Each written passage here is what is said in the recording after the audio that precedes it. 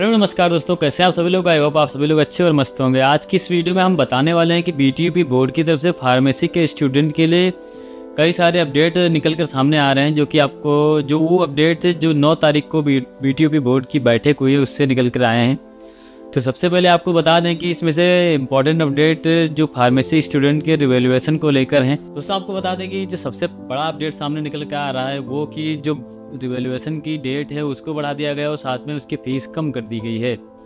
पीटीयूपी board में revaluation की fees आधी कर दी गई, ये एक ऐतिहासिक फैसला है जो इससे आज से पहले कभी नहीं हुआ क्योंकि वो अब की बार हुआ है तो उससे काफ़ी स्टूडेंट को फ़ायदा मिलने वाला है। और जो छात्र पहले फॉर्म भर चुके थे, उनकी फ़ीस वापस कर दी जाएगी तो घबराने की कोई ज़रूरत नहीं है, जो लोग फ़ीस पहले पे कर चुके थे, एक महीने के भीतर उनके अकाउंट में उनकी फ़ीस वापस आ जाएगी।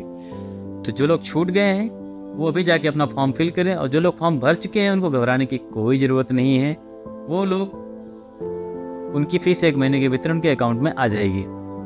चलिए बढ़िया बढ़िया आगे और एक और अपडेट निकल के आ रही है, उसके बारे में बात करते हैं। दोस्तों ई सर्विस जनहित पोर्टल के माध्यम से बी की तरफ़ से सभी को निःशुल्क कापी देखने का जो बोर्ड की तरफ़ से वो दिखाया जाएगा, वो कि तो आपको बता दें ई जनहित पोर्टल का रजिस्ट्रेशन जो है वो 11 तारीख से लेकर 11 अक्टूबर से लेकर 14 अक्टूबर तक होने वाला है, वो भी निःशुल्क होगा। और जो छात्र इच्छुक हैं और जो कापियाँ हैं वो 16 अक्टूबर से लेकर 19 अक्टूबर तक दिखाई जाएँगी। अगर आप अपने नंबरों से असंतुष्ट हैं, अगर आपको लगता है कि हमारे नंबरों को जो मूल्यांकन किया गया है, उसमें कुछ नंबर छूटे हैं तो आप रिवेल्यूएशन फॉर्म भर सकते हैं, जिसकी डेट 22 अक्टूबर तक कर दी गई है।